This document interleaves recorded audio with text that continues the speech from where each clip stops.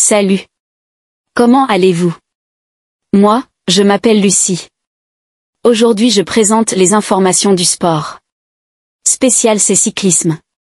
Je souhaite vous supporter la chaîne. Après avoir disputé le Tour de Slovaquie, Julien Alaphilippe sera bien au départ du Tour de République tchèque dans une semaine, 25 à 28 juillet.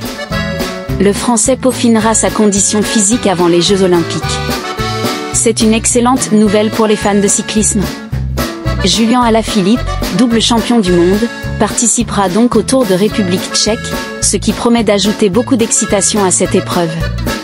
Avec Casper Asgreen à ses côtés, l'équipe semble être bien préparée pour affronter la compétition. Les organisateurs doivent être ravis de pouvoir accueillir un coureur de renommée mondiale comme Alaphilippe.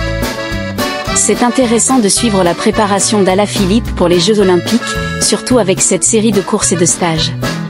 Sa décision de participer au Tour de République tchèque comme dernière étape avant les Jeux montre à quel point il est concentré sur sa forme et sa préparation. Sa victoire d'étape sur le Tour d'Italie et ses performances solides au Tour de Slovaquie témoignent de sa forme actuelle. Le stage dans les Dolomites avec l'équipe Soudal Quick Step devrait également renforcer sa condition physique. Les fans auront certainement hâte de le voir compétir aux Jeux Olympiques après cette intense période de préparation. C'est une sélection impressionnante pour l'équipe de France aux Jeux Olympiques. Julien Alaphilippe, bien connu pour ses performances spectaculaires, est évidemment un atout majeur pour la course en ligne. Avec des coureurs comme Valentin Madois, Christophe Laporte et Kevin Vauquelin également dans l'équipe, la France semble bien équipée pour rivaliser à Paris.